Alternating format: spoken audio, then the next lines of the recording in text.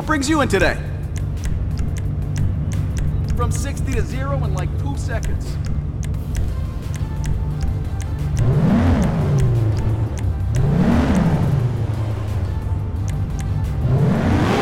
Now that's a custom job.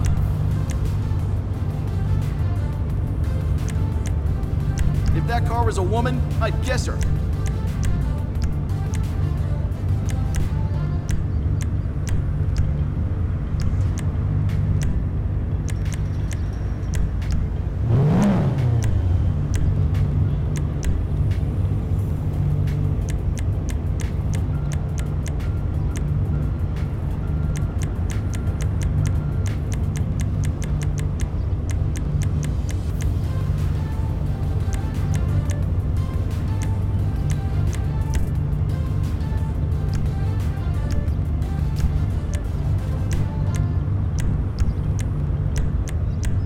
Can really manage those RPMs.